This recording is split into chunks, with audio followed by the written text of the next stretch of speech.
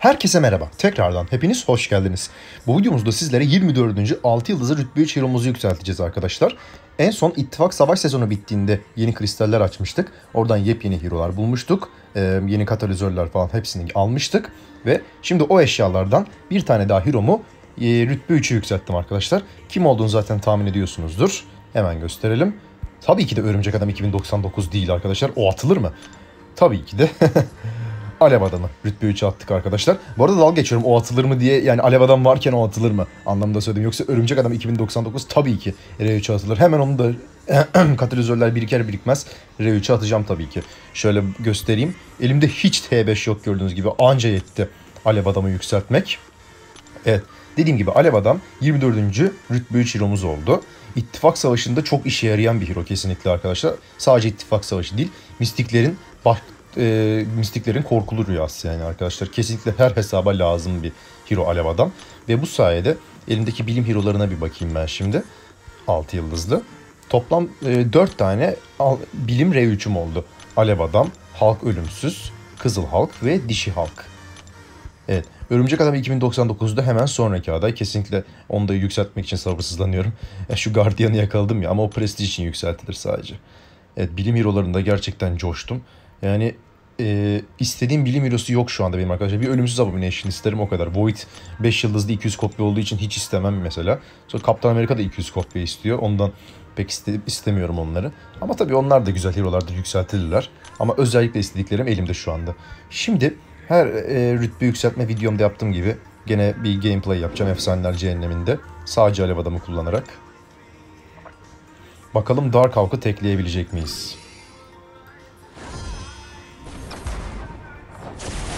Biliyorsunuz iyileşmesini çok güzel tersine çeviriyor. Şimdi ben burada dövüş öncesi yeteneğimi aktifleştirmiyorum. Çünkü burada asıl mesele e, iyileşmeyi tersine çevirmek. Ve çaresizlik ustalığı zayıflatıcı attığımızda aktifleştiği için pasiflerle aktifleşmiyor biliyorsunuz. İyileşmesini daha güzel tersine çevirir. O yüzden dövüş öncesi yeteneği olmadan dövüşeceğim. Hadi bakalım indirebilecek miyiz? Dark Hawk'ı tek seferde. L1 vuruşlarını bloklamak çok önemli. Hız yüklerimizi böyle arttırıyoruz. Ama daha önemli olan onun modlarındaki iyileştirmeyi açıp onu tersine çevirmek. Asıl bunu ayarlamak lazım. O zaman işimiz kolay. Evet. Şimdi onu yere deviriyorum. 9 yük olduğu için bir kere L1'ini arttırmak zorundayım. Aynen böyle. Böyle ısı yükü basıyoruz. Şimdi gücümüzü çaldı. L2'sini doldurmamızı sağlıyor bu sayede. 6 yakma varken hemen L2'sini arttırıyorum. Bakın nasıl tersine çeviriyor iyileşmeyi. Sonra hemen e, tekrar L2'sini dolduruyorum ve onu yere deviriyorum. Oh Nova Alevini açtık. Bakın tersine çeviriyoruz. Tabi hemen L2'sini attırmam lazım. Yani atmıyor. 2 saat atmıyor L2'sini. Zor bazen onu attırmak. Şimdi attı. 2 tane yük var. Biraz yeniledi canını olsun. L1 alıyoruz çünkü yükü 8'de şu anda. Ayrıca ıska geçmemek için de bunu yapmak önemli. Yere devirelim. Bakın gene tersine çevirdi. Ay siper yaptım orada ama ya. Bazen siperi algılamıyor gerçekten. Şöyle bir daha yere devirdim onu. Hemen L2. 3 alev yükü varken de iyidir. Yani aynen. 3 alev yakma varken. Yanlışlıkla alev yükü dedim. Evet L2'sini doldurdum gene. Hemen yere deviriyoruz. Ay şaka gibi ya. Gerçekten şaka gibi. Gitti kaçış yaptı. Yok oldu gülüm oldu oldu. Yok L2'yi daha tam olsun. Çay da ister misin? Sen robotsun çay neyine? Evet yere devirelim şunu tekrar. Ve iyileşmeyi tersine çevirdik. Oh güzel L1 de aldık. Şöyle tekrar yere devirdim. Ama 3 yük azdı. Neyse gene tersine çeviriyor en azından. Şöyle tekrar deviriyorum 6 yük varken gene iyileşmeyi tersine çeviriyor. Şimdi L1'i blokluyoruz. Evet 9 yük oldu. 10 yük de yere devireceğim. Aynen böyle. Şimdi L2 alalım. Çok güzel. Ay ne çok kaçış yaptın efendi ya. Örümcek adamlar bu kadar kaçmıyor gerçekten. Şimdi L1 almamız lazım. Gerçi boş ver L1'i. Şunu L2'sini doldurup attıralım yani. Ama moddan çıkıyor ya artık önemli değil. Moddan çıktı. Onu da yere deviremiyordum. Çok doldur gücünü ve atmıyor L2'sini. Heh. İlla dövüş benimle korkak açtıracak. Şu anda onu ıskalayabilirim. Ondan yere devirmem lazım. 10 ısı yükün üstünde olmanız lazım. ıskalamamak için. Çok güzel. Biraz canını doldurdu ama önemli değil.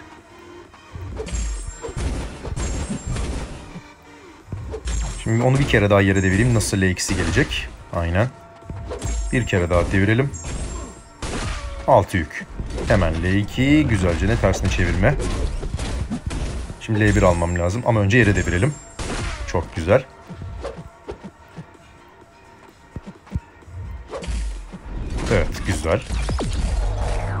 Dövüş benimle korkağa girdi. İyicene de şey hakkımız azalıyor. Yere devirmem lazım. Kalkan modunu açıyor. Hah, attı nihayet. Hızlı tersine çeviriyoruz. İkinci combo yüklerine gelmek üzereyiz. Orada işimiz biraz daha zorlaşacak. Gücümüzü çaldı. Çok güzel. Kalkan modu. Sonra görünmez mod. Döngü bundan ibaret işte. Döngüyü anladınız.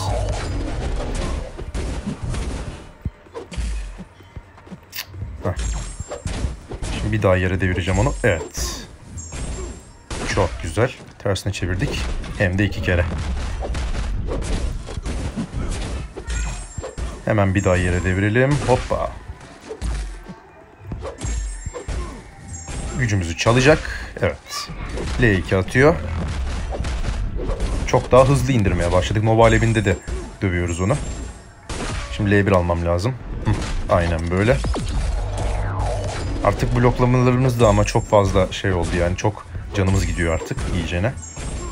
Devam. Şimdi L2. E, döngüyü bir kere yakaladım arkadaşlar. Çok rahat yapıyorsunuz. Şöyle yere devirdim gene. 6 yük varken. L1. Evet ona maalesef vuramam. Hiç kalkan bunda epey canımızı alabilir çünkü. Evet artık L1'ini yavaş yavaş attırmayı bırakmamız lazım. Çok canımızı alıyor. Oyunda takılmaya başladı.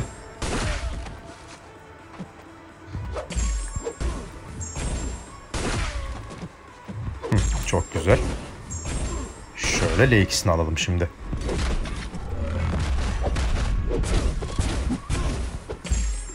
Hoppa. Hadi bir L2 alalım. Çok güzel. Bir kere daha yere devirdim. Bu iş tamamdır. Aynen böyle.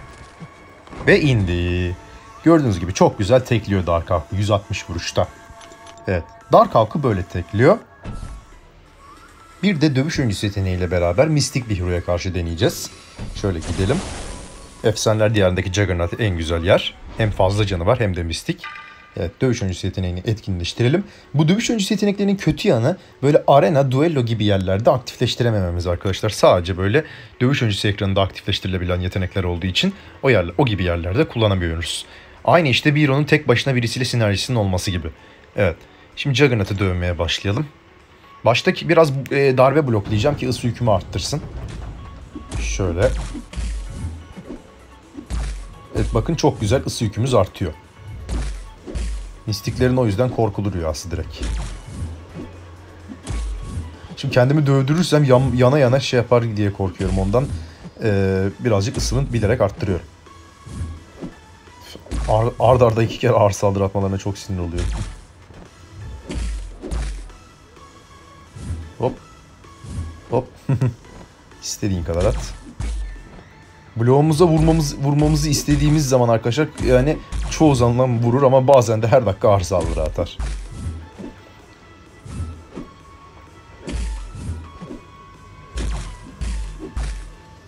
Evet nasıl atıyor görüyorsunuz. Evet yeterli.